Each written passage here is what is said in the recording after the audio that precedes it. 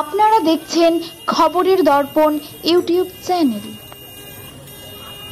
যদি এখনও আমাদের খবরের দর্পণ চ্যানেলটি সাবস্ক্রাইব না করে থাকেন, তাহলে এখনই সাবস্ক্রাইব করুন।